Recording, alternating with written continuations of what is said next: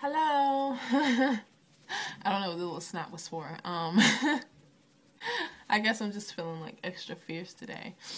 Um, yeah, still kind of sick or sounding sick, but I just came on because I wanted to show my fro. My fro-licious. Mm-hmm. The Afro bounce.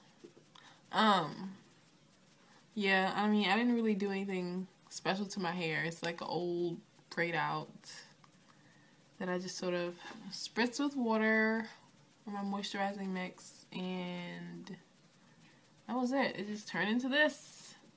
It feels dry. Well, looks a little dry, but doesn't really feel as dry as it looks, is what I mean. Um, yeah. Um, it's just a big poof ball that's pretty much what happens to my hair when I add water. it's just a poof ball. So for you guys that were wondering, you know, what my hair looks like after a few days, this is what happens. I would probably wash my hair at this point because I don't wear my hair out like this too often because it is shrunken up a lot.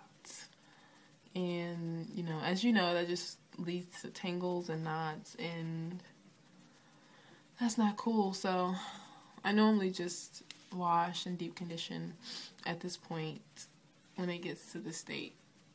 I try not to let it get to the state but when it does or if I want to wear it like this then I'll wash deep condition and retwist or rebraid or bun whatever style I'm gonna wear for the week.